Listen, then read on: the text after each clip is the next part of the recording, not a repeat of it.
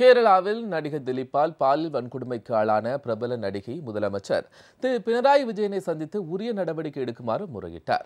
நடிகர் திலீப்பால் கடந்த இரண்டாயிரத்தி பதினேழாம் ஆண்டு பாலியல் வன்கொடுமைக்கு ஆளான நடிகை அளித்த புகார் தொடர்பான வழக்கு கொச்சி உயர்நீதிமன்றத்தில் நடைபெற்று வருகிறது. இந்நிலையில் முதலமைச்சர் திரு. பினராயி விஜயனை நேரில் சந்தித்து பேசிய பாதிக்கப்பட்ட நடிகை தனது நிலைமையை விளக்கி உதவுமாறு கோரியுள்ளார்.